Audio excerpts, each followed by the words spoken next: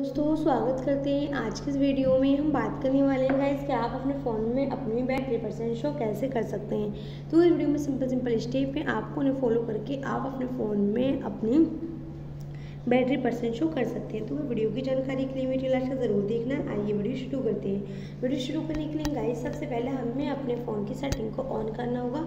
On करने के बाद गाइस आपको इस तरीके का इंटरफेस देखने को मिल जाता है। तो यहाँ पर आपको ऑप्शन देखने को मिल जाता है। नोटिफिकेशन कंट्रोल केयर तो हमें उस पर क्लिक कर देना। है क्लिक करने के बाद यहाँ पर आपको नीचे आना, नीचे आपको ऑप्शन देखने को मिल जाता है स्टेटस बार तो हम उस पर क्लिक कर देना।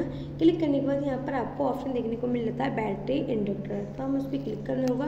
क्लिक करने के बाद यहाँ पर आपको तीन ऑप्शन देखने को मिल जाते हैं। तो गई जैसे कि आपको अपने फ़ोन में अपनी बैटरी परसेंट जो बैटरी के अंदर करनी है तो आपको इस पर क्लिक करना होगा।